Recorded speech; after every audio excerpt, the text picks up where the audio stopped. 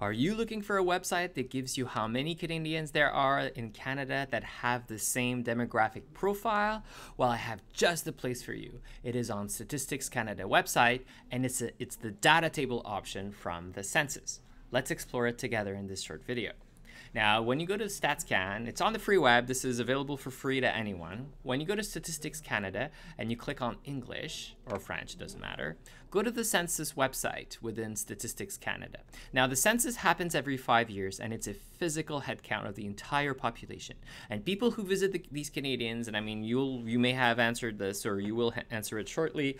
Um, when you give uh, you answer your census report uh, uh, questionnaire, uh, you have to say a lot of things about yourself, your age, uh, the age of the people in your house, and all these different questions, your income, and then uh, the government compiles all this information and provides it uh, through its website. So you just kind of use the census uh, portal to access all of these different data uh, uh, tools. Now, when you're on the census page, just go below here under data products and these these are my I mean of course you could explore this there are different types of things you can use on this website but this is my preferred option because this this is really the tools where you could tweak a very specific uh, uh, table yourself now I have another video about the census profile but which is basically giving you uh, um, you know, a snapshot of a very specific place in the country and who lives there. This is a different tool. This, if you're looking for uh, uh, Canadians that have the exact same demographic uh, profile, it will actually tell you how many people in the country have the same demographic profile, and hopefully you could usually subdivide it by place. Uh, so it's a slightly different option than the census profile because census profile is focusing on a single place. Whereas uh, the goal of this video, which is to talk about the data tables, is to is to really get give you a uh, an idea of the entire country, but people with a similar demographic. So that's the difference. Very simple place, which is the census profile, or same uh, demographic uh, profile, which is a data table. So let's go to the data table uh, option. And the first thing you have to figure out is what are the different variables that you have to pick from. So this is essentially giving you a list of the different variables provided for you in the census. And let's say I'm interested in income and uh, gender for whatever reason.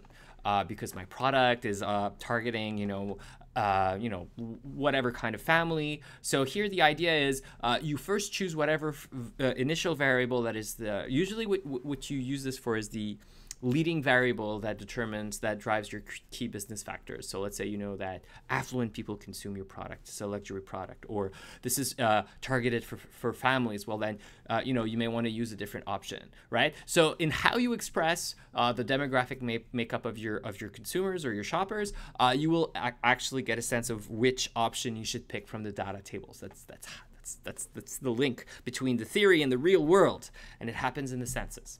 So let's say I'm looking for affluent, so that's the beginning part. So I'm going to go to the income option.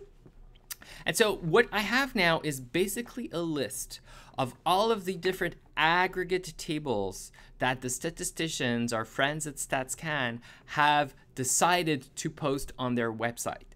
And literally, they have you know, let me go back to the previous page. Let me just hit back for a second here. They have a list of all these different variables that they could pick from, and they say, oh, let's use, let's do a data aggregate table with this one, that one, and that one, right? And then they run the table and they post it on the internet.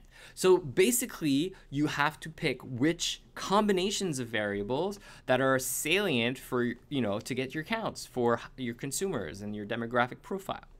So, you know, there are, for example, 48 options in the income uh, variable list. So all of these would talk about income in different ways. And whatever's listed here are the subdivisions or the uh, the other variables that are included in the data set. So let's take, for example, this third one because it has age and uh, gender. Uh, and notice how sometimes we say gender, sometimes we say sex. I mean, you have to kind of understand that StatsCan has its own lingo. Uh, and so this is uh, an option. You could also use this other one. You know, it doesn't matter as long as the variables that you want are in the data set. Okay, so you could use any one of these. Maybe this one is slightly uh, less complicated because it doesn't have as many options. It's, it doesn't matter which one you use. Then you have to look at the reference number here. This geography will tell you what different subdivisions are available here. So this one is pretty detailed because it goes to the census agglomerations, which is essentially like a city. Uh, and the census metropolitan area is the greater area around the city. So this is just giving you a sense how you could filter down to the data table. So let's pick this third one and um, use uh, click on the catalog number. Now this is the full definition. And actually, if you want the definitions of these different variables, uh, then you could click on this. And, and the number refers to a list of variables uh, from the StatsCan documentation, right? So you could you could take a look at that. Uh, once you're comfortable that this is the actual data set that you want, you could say view, download this product. And here is a table of the answer. So the default is always at the highest geographical area, but notice that you could click down on this and actually pick very specific uh, areas of the country. Yeah, this, this is pretty pretty intense. So let's say we choose Trois-Rivières for whatever reason. That's you know you want to have you know a restaurant down there or whatever. You could do Trois-Rivières and you hit submit, and then you get this is the income distribution of people living in Trois-Rivières total in the census in 2016. So this is amazing. Uh, you could also say, you know what? I don't want everybody. Let's just focus on, you know, 25 to 64. It's called the active population sometimes. Let's do active to, you know, 25 to 64. Let's hit submit.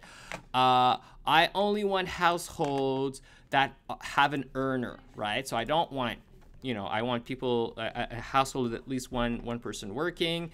And I want to have people living alone. So I'm looking for the Trifluviens, people in Three Rivers, in Trois-Rivières, that are living alone and have a job, right? And actually, I could look for, you know, whatever gender I want. And so this is giving you counts for that specific combination of variables.